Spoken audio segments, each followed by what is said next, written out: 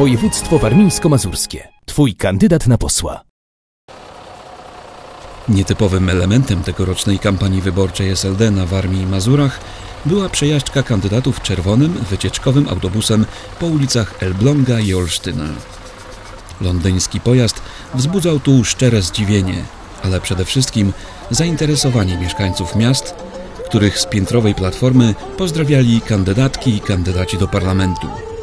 Było przyjaźnie i wesoło, jak to w wesołym autobusie. No i zobaczcie, nie musimy jechać do Londynu. O, Londyn przyjechał do Olsztyna. Angielskim autobusem, czerwonym autobusem będziemy jechać po mieście i będziemy nakłaniać naszych mieszkańców, żeby głosowali na listę Sojuszu Lewicy Demokratycznej. Londyn w Olsztynie.